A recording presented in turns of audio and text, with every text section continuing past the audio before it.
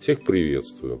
Продолжаем рассматривать работу художников и скульпторов с описанием по книге «Великий музей мира» Маруха Малио, фестиваль Лавербена, 1127 год, холст масла 119 на 165. Сокурсница Сальвадора Дали по Академии Сан-Фернандо Маруха Малио, собственно, Анна-Мария Гонсалес Малио, дружила не только с ним, но и с Лоркой, Бунюэлем, Рафаэлем, Альберти. Учебное заведение Малия окончило с отличием.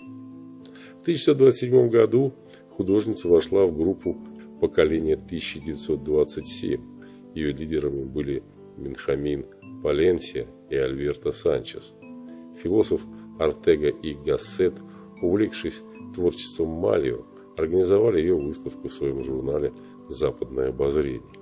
Представлены здесь картины, как и в других динамичных работах автора этого периода, отразились тенденции магического реализма, четкая графичность энергичных контуров соединяется с ярким и даже пестрым колоритом.